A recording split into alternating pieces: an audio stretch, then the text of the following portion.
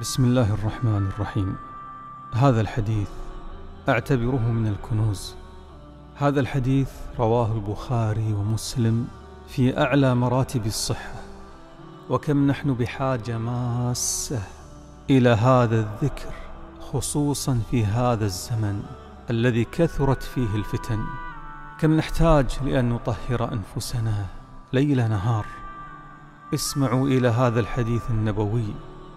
عن أبي هريرة رضي الله عنه أن رسول الله صلى الله عليه وسلم قال من قال سبحان الله وبحمده في يومه مئة مرة حطت خطاياه وإن كانت مثل زبد البحر وإن كانت مثل زبد البحر.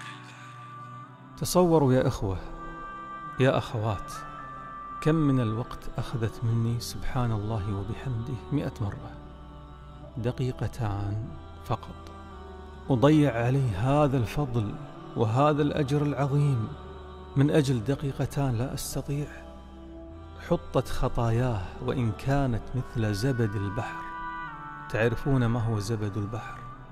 زبد البحر شبه الذنوب بكثرتها مثل تكاثف زبد البحر وامتداده على ساحل البحر الكبير.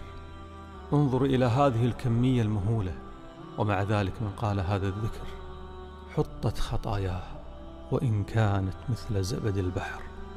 قال تعالى فلولا إن كان من المسبحين للبث في بطنه إلى يوم يبعثون. انشروا هذا المقطع انشروا هذا الحديث. سنرى أثره علينا في الآخرة يوم الحساب.